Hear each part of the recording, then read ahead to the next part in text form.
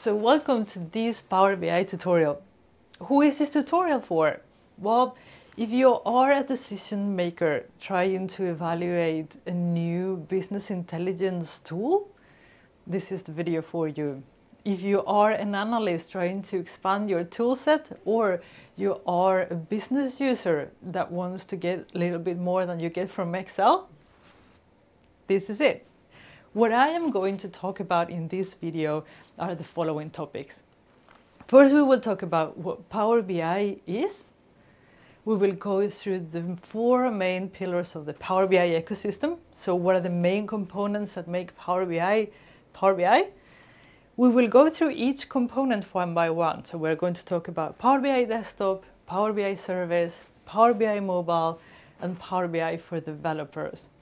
I have a very short video about which tools are available for you if you are a data scientist or you have data scientists in your organization. So how do those skill sets match with Power BI?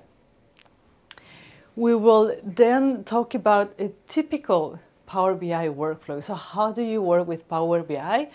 And I have a demo. We are going to create a report from scratch. It's a very, very quick demo that will allow you to see the tool in action and to see the different components and how do they fit together to create a business solution for you. And uh, finally, we will talk about how much does it cost, right? So if this is a tool that you think, yeah, that might be something for me, so how much is it going to set you back? So hopefully, hopefully this will help you get started in your Power BI journey.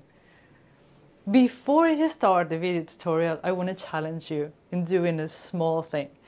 Just to spend five minutes thinking about goals that you need to meet either for yourself, for your organization, for your team, and write them down. Spend another five minutes thinking about which data sources you have available or could have available to make you or to help you meet those goals or make better decisions about how to achieve those goals. And keep that list in mind when you're watching the video tutorials. I hope that this puts in perspective what Power BI is and what it can do just for you. So with that said, how about we start the course? Enjoy!